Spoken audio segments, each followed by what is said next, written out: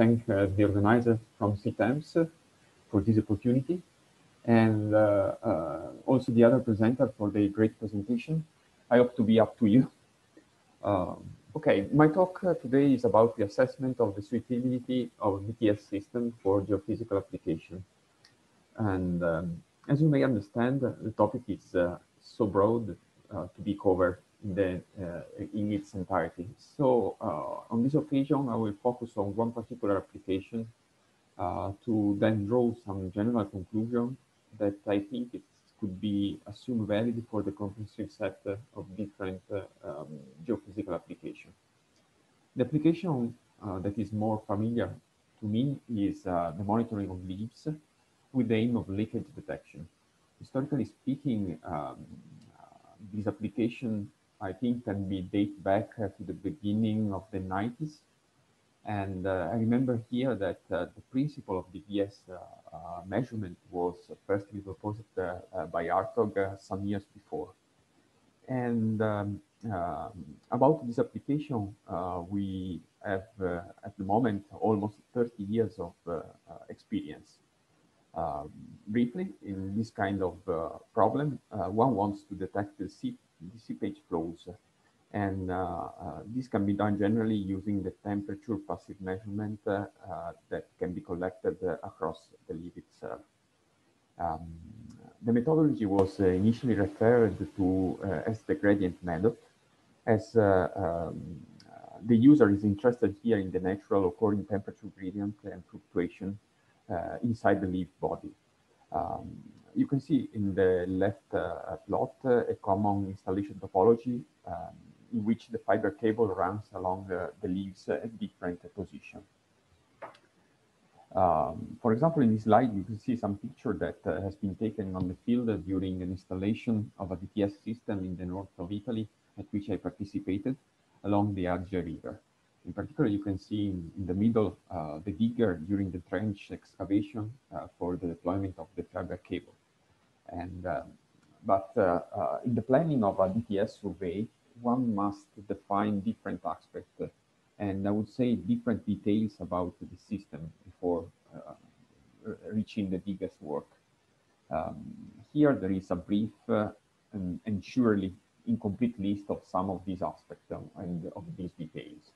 In particular, um, uh, one important thing to be to, to, that has to be chosen uh, is the kind of interrogator to use. Nowadays, uh, we have shown by the, the, the, the previous presentation that uh, we have different options. Raman OTDR, Raman OFDR, Brillouin OTDX, Brillouin OFDX, depending on the time on the frequency domain, or even Rayleigh OFDR. Um, then uh, another thing that is really important, as we have seen uh, in the previous talk, is the type of cable.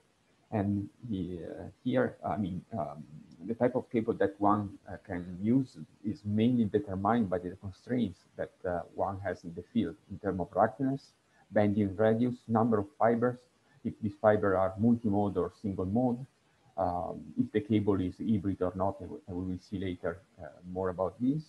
Or you can even go for engineered geotextile or geogrids. Another important thing is the topology of the, the position. Here, uh, with the term topology, uh, I refer to the geometrical disposition of the fiber in, on the field.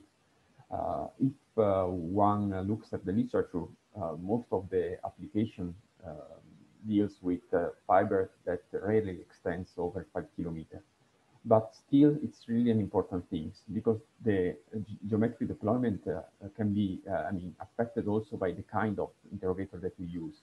Uh, at the very beginning of this kind of application, the spatial resolution was around one or two meters. Nowadays, we can reach very smaller value for spatial resolution. And there are also other workaround, workaround to improve artificially the spatial resolution. Uh, again, the configuration of the measurement is uh, another thing that has to, to define before the installation and uh, is a topic that is strictly related to the topology and uh, to the interrogator that one want to, to use. Uh, for sure, you know better than me that, uh, and we have also seen the previous talk that there are two options, mainly dual-ended or single-ended scheme, depending on the accessibility of, of the two ends of the cable that you may have and also the termination of dual fiber cables uh, can be important. in particular, uh, recently has been proposed a different uh, termination engineer to, to achieve the dual configuration in a more easily way. This aspect is also related to the calibration of the system that we have about this, we have listened to a very interesting uh, talk just before my presentation. And uh, in this case, uh, it's important to define before this aspect because you may need to deploy additional fiber and set uh, the temperature bar. Despite, to be honest, most of the work that uh, we read uh, in the literature relying on the manufacturer specification rather than on uh, real calibration done in, in, the field. Finally, the availability of trainer workers, expert installators, while not mandatory according to my experience, this could make the difference in some situation. Then once uh, uh, the installation uh, has been done and you start to collect the first measurement, Uh, one may encounter additional data analysis issues, as those uh, that uh, I listed here refer in particular to the early field experimental application. But some of them, I mean, are still valid nowadays. In particular, the lack of analytical and numerical models of the thermal flows and uh, inside the leaves and uh, the lack of data analysis model. But uh, over the years, several approaches have been proposed to address these particular issues. For example, the dissimilarity, dissimilarity approach, according to which the temperature fluctuation of affected zone over the day are different from those of, uh, let's say, healthy zone. Here you can see, for example, uh, an example of that. The temperature uh, fluctuation evolution over time of uh, leakage prone zone oscillate, in particular X3 and X2.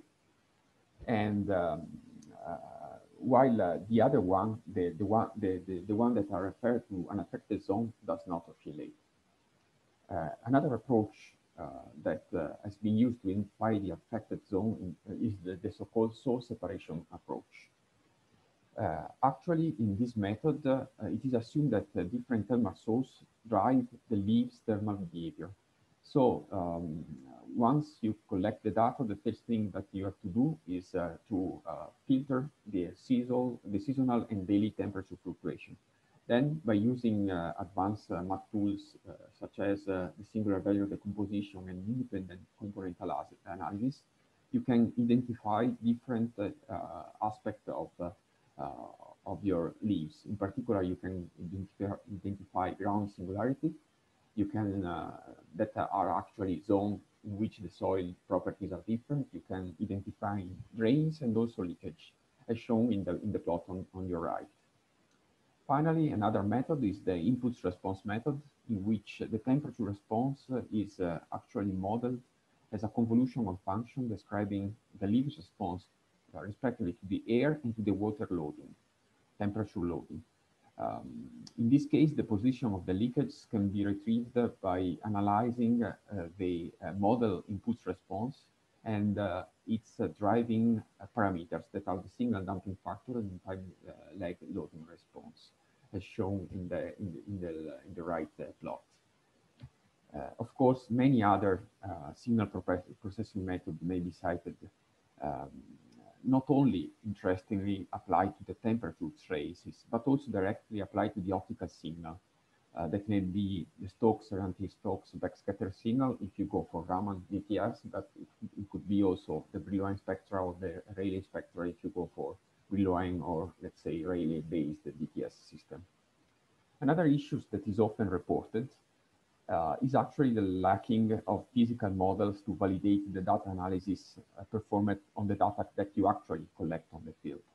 But uh, as uh, we have seen in a previous talk, uh, it is possible to perform experiments in small and medium scale physical models. Here, for example, I show you an experiment in a very tiny sandbox. Uh, if you look at the dimension that is here, it is less than one fourth of a cubic meter of volume of, of soil inside this box. And the aim of this experiment was to track the flowing path of, of hot water that uh, was driven by a pressure head. Um, the fiber that has been used here is a standard telecom fiber of uh, uh, 900 micrometer, micrometer Teflon jack cable that was installed um, in 15 sections across the box side, uh, per perpendicularly to the expected flow of water, of water. And uh, just an example of the results that can be obtained with uh, this kind of, uh, of experiment. Uh, here you can see a contour map of the flow. Um, I will try to faster move faster. And um, uh, for this kind of experiment, uh, the interrogator that was employed was a Rayleigh interrogator based on optical frequency domain reflectometry with uh, a spatial resolution lower than one centimeter. Finally, another issue that is often reported is the identification of distinct features, but uh, this issue can uh, also be addressed not only from the numerical or data analysis side, but can be also addressed at the hardware side. For example, by using an hybrid uh, cable, uh, like this one that is uh, shown here. Um, one more minute. Yeah, which actually integrate copper wires with the fiber. I will not spend not many more uh, words about this, this, because there will be a talk about uh, the heating process. So, uh, coming to a conclusion, uh, is the DTS a suitable technology for ge geophysical application? Yes, in my opinion, it is. What uh, I have tried to show you in these slides are some aspects of this technology implementation um, that over the year have been addressed as issues, but uh, became then opportunities. What is important to me to highlight is represented in this, uh, in this scheme, in this draw. To really make DTS suitable, you should consider all these, all the three aspects that compose a complete DTS system, the technology, the system integration, and the data analysis. As I said, over the years, several issues have become opportunities to develop one or more of these aspects further. Nonetheless, uh, one thing has to be clear. DTS, like most of the distributed fiber optic sensing system, is not a transparent technology, like it could be, for example, the single point fiber optic sensor technology.